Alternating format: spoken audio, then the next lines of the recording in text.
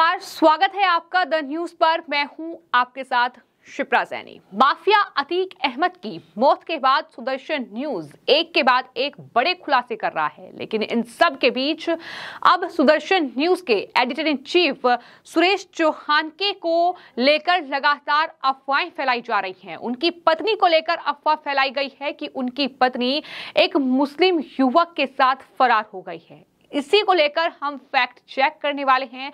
आखिर इस खबर में कितनी सच्चाई है ये मैं आपको बताने वाली हूँ। दरअसल हम कुछ आ, लोगों के रिएक्शन सामने लाए हैं और साथ ही आ, खुद जो सुरेश चौहान के हैं उनकी तरफ़ से भी ट्वीट किया गया है। बाकायदा उनकी पत्नी की ओर से भी ट्वीट करते हुए खुलासा किया गया है कि आखिर इस खबर में कितनी सच्चाई है। तो सबसे पहले आप देख लीजिए कि किस तरीके की अफवाह जो है वो सुदर्शन न्यूज़ के ये एडिटर इन चीफ हैं सुरेश चौहान के। आप इन्हें देख रहे हैं तस्वीर में और इनके साथ इनकी पत्नी है। इनको लेकर अफवाह जो फैलाई गई वो ये सुरेश चौहान के की पत्नी मुस्लिम युवक के साथ फरार हो गई। ये अफवाह उनकी पत्नी को लेकर फैलाई गई। सुरेश ने जताई लव जिहाद की आशंका। ये लिखा गया। तो जिस तरह की राष्ट्रवादी पत्रकारिता वो करते हैं, जिस तरीके से वो तमाम मुद्दों को लेकर बेबाकी से अपने चैनल पर बोलते हैं, कहीं ना कहीं उसका ही खामियाजा उन्हें इस तरीके से भुगतना पड़ा कि उनको लेकर इस तरह की खबरें चलाई गई। आप जो ये तस्वीर देख रहे हैं, दरअसल इसका फैक्ट चेक किया गया और जब फैक्ट चेक किया गया तो ये खुलासा हुआ कि दरअसल अतीक को लेकर जो वो खुलासा कर रहे हैं, उसकी वजह से ही कुछ कट्टरपंथियों ने इस तरह की खबरें उनकी पत्नी को लेकर चलाई हैं और कुछ और बड़े खुलासे इस पूरे मामले में हुए हैं। आपको बता दें कि ये सुरेश चौहान के का ही ट्वीट है, जो आप देख रहे हैं अपनी स्क्रीन पर और इसमें उन्होंने खुद ट्वीट करते हुए इस पूरे खबर को बताया है कि आखिर इसमें क्या सच्चाई है। उन्होंने ट्वीट करते हुए लिखा है कि विरोधियों द्वारा फेक पोस्ट वायरल किया जा रहा है। मेरा परिवार मेरे जैसा ही कट्टर हिंदू है। मेरे साथ तर्कों और सिद्धांतों की लड़ाई हारने का ये लक्षण है कि विकृत मानसिकता वाले तत्व मेरे परिवार की बदनामी पर उतरे हुए हैं। ये भी उन्होंने लिखा है कि मैं उन सभी पर कानूनी कार्रवाई करूँगा। यूपी पुलिस और ट्विटर को भी उन्होंने इस ट्वीट में टैग किया है। तो सबसे पहले आप ये तस्वीर देख लीजिए, जो कि लगातार वायरल हो रही थी। तमाम लोगों ने इस तरह का ट्वीट किया। आज तक के लोगों के साथ बाकायदा इस पूरे खबर को चलाया जा रहा था और इस तरह की ये पूरी खबर सोशल मीडिया पर छाई हुई थी कि सुरेश चौहान के जो कि सुदर्शन न्यूज़ के एडिटर इन चीफ हैं, उनकी पत्नी मुस्लिम युवक के साथ फरार हो गई है। लव जिहाद की आशंका सुरेश ने ज़ाहिर की है। नोएडा पुलिस स्टेशन में बाकायदा एफ़ दर्ज कराई गई है। इस तरीके के तमाम जो ट्वीट थे वो सोशल मीडिया पर चल रहे थे, लेकिन इन सब के बीच अब खुद सुरेश चौहान के का ही ये ट्वीट सामने आया है, जो आप देख रहे हैं। सुदर्शन न्यूज़ के एडिटर इन चीफ हैं। उनकी तरफ़ से ये कहा गया है कि जो मेरे साथ तर्कों और सिद्धांतों की लड़ाई हार चुके हैं, ये अब उनकी तरफ़ से इस तरीके के कारनामे जो हैं, वो देखने को मिल रहे हैं। इस तरीके से फेक खबरें जो हैं, वो मुझे लेकर, मेरी पत्नी को लेकर फैलाई जा रही हैं। और सिर्फ़ सुरेश चौहान के ही नहीं, बल्कि उनकी पत्नी माया सुरेश चौहान के का भी ट्वीट सामने आया है। ये है सुरेश चौहान के की पत्नी माया सुरेश चौहान के, जिन्होंने इस पूरे मामले पर जवाब दिया है और ये लिखा है कि, अधर्मियों, हम शुद्ध सनातनी हैं, न घर से भागते हैं, न युद्ध से। यानी उन तमाम कट्टरपंथियों को, उन तमाम ट्रोलर्स को जवाब दिया है, जो इस तरीके से उन्हें घेर रहे हैं। उन्होंने आगे लिखा है कि हम पर कुदृष्टि रखने वालों का, सोने का साम्राज्य भी हमारे वीर जला देते हैं। तुम सब मिलकर मेरे धर्म योद्धापति से सिद्धांतों की लड़ाई में प्रस्त हो। ये पोस्ट उसका प्रतीक है। यानी उन्होंने वो पोस्ट भी ट्वीट किया है जो लगातार वायरल हो रहा है।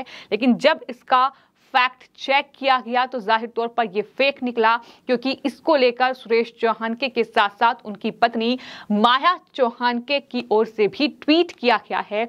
बाकायदा इस पूरे मामले पर उन्होंने आ, उन तमाम ट्रोलर्स को जवाब दिया है और ये कहा है कि जो सिद्धांतों की लड़ाई है वो कुछ लोग हार चुके हैं मेरे साथ मेरे पति के साथ और यही वजह है कि इस तरीके की खबरें लगातार वायरल की जा रही हैं। दरअसल सुदर्शन न्यूज़ जो कि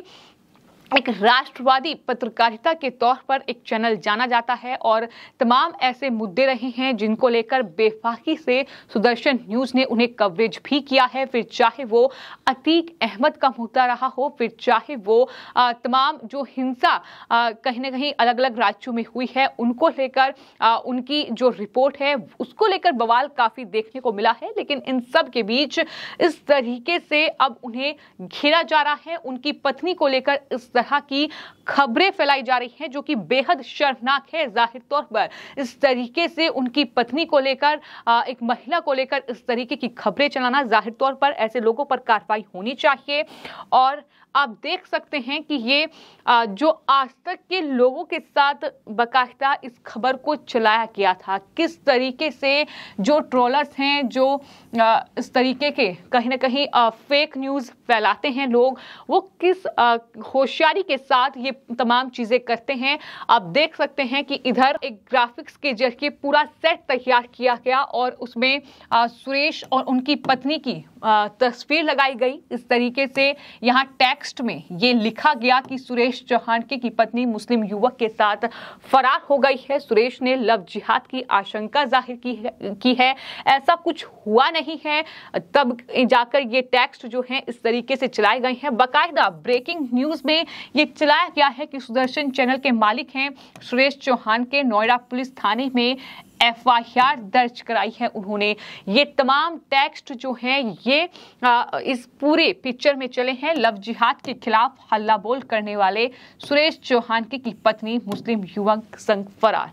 तो इस तरीका का ये पूरा ग्राफिक्स तैयार किया गया है बाकायदा और आज तक का लोगो लगाया गया है जबकि आज तक ने भी इस पूरी खबर को लेकर फैक्ट चेक किया और ये खुलासा किया कि ये उनकी खबर नहीं है।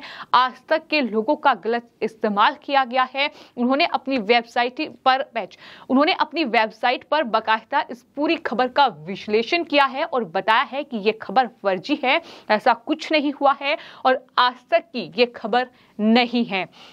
आपको बता दें, किस तरीके से ये ब्रेकिंग न्यूज़ का टेम्पलेट जो है वो तैयार किया गया और जिसके ज़रिए भी ये किया जा रहा है, वो लगातार इस तरीके के कहीं ना कहीं फर्जी खबरें जो है फैला रहा है, ये एक मामला नहीं है, बल्कि जो आज तक के ज़रिए फैक्ट चेक किया गया है, उसमें कई ऐसी खबरें सामने आई हैं। आप देख सकते हैं कि ये पूरा सेटअप तैयार किया गया है बाकायदा और किस तरीके से इससे पहले भी कुछ खबरें जो हैं वो फैलाई गई हैं। आप देख सकते हैं कि ये भी तमाम जो खबरें हैं, इस तरीके के सेटअप में ये चलाई जा रही हैं। तो ये तमाम चीज़ों का खुलासा जो है वो आज तक ने किया है।